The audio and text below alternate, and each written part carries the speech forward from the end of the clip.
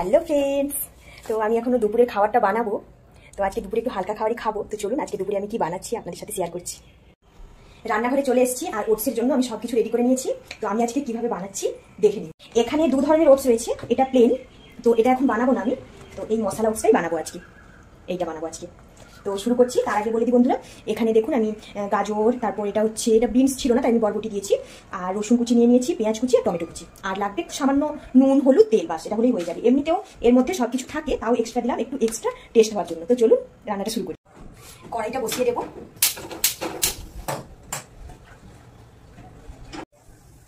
তো আমি এটার দেড় বাটি ওটস দেড় বাটিও নয়, এক বাটি আর এতটা নিয়েছি। কড়াই গরম হয়ে গিয়েছে, কড়াইয়ের মধ্যে তেল দিয়ে দেবো। তো আমি এখানে ইউজ করছি, এটা হচ্ছে একটা অলিভ পোমেস অয়েল ইউজ করছি। আপনারা আপনাদের রেগুলার তেলটা ব্যবহার করবেন। আপনারা যেটা ইউজ এর মধ্যে দিয়ে দেবো একটু সামান্য পরিমাণ গোটা জিরে।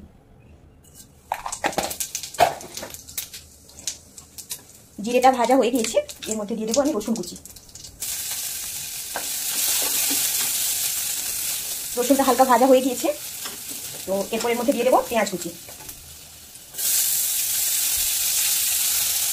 ভাজা হয়ে গিয়েছে পেঁয়াজটা, এরপর এর মধ্যে দিয়ে দেবো টমেটো কুচি। সাথে এই যে সবজিগুলো কেটে রেখেছি, এগুলো দিয়ে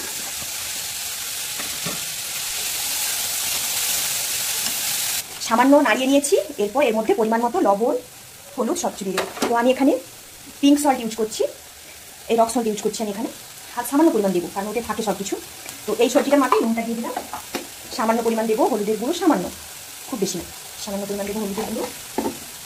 আর সামান্য পরিমাণ দেবো লঙ্কার গুঁড়ো, একদম সামান্য। হয়ে গিয়েছে, তাই সবজিটাকে খুব সুন্দর করে ভেজে নেব ভাজা হয়ে গেছে এর চেয়ে আর বেশি ভাজার দরকার নেই। তো এরপর আমি এর মধ্যে জল দেবো। তো আমি যতটা ওটস নিয়েছি, তার ডবল জল দেবো। তো এখানে আমি নিয়েছি এক বাটি ওটস নিয়েছি, তাহলে আমি দু বাটি জল দেবো এক বাটির জন্য। আর নিয়েছিলাম, আধা নিয়েছিলাম, এই এতটা মতো নিয়েছিলাম, তো একটা ডবল দেবো, বাস, এই এতটাই জল দেবো। এতেই হয়ে যাবে। এবার ফ্লেমটাকে মিডিয়াম করে দেবো, করে দিয়ে এটাকে আমি দু তিন মিনিট সবজিটা সেদ্ধ হতে দেবো ঢাকনা দিয়ে। সেদ্ধ হতে থাক। তারপর আসছি। এবার ঢাকনাটা খুলছি। দেখুন কত সুন্দর ফুটছে। এরপর এর মধ্যে আমি ওটসটা দিয়ে দেবো।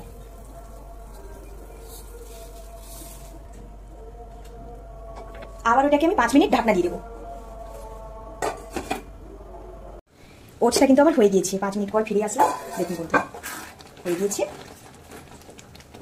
দারুণ, সেন্ট আসছে।